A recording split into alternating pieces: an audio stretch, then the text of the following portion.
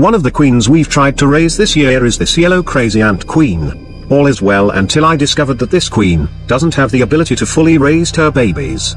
She discarded the first batch of cocoons, which should become the nanitics, or her first batch of workers. This overdue cocoons has been dumped, due to the queen's lack of skill on opening them. When I opened them I saw dead workers, waiting to be freed. If only one of this workers made it, I'm sure she can take care of the rest. For her sisters to also survive. So in the third batch, I tried to help her by trying to make an opening on some of the cocoons. The challenging part is deciding which, and when to open it. Upon returning the slightly open cocoon, I really thought it would work. But the queen suddenly started attacking it by spraying formic acid.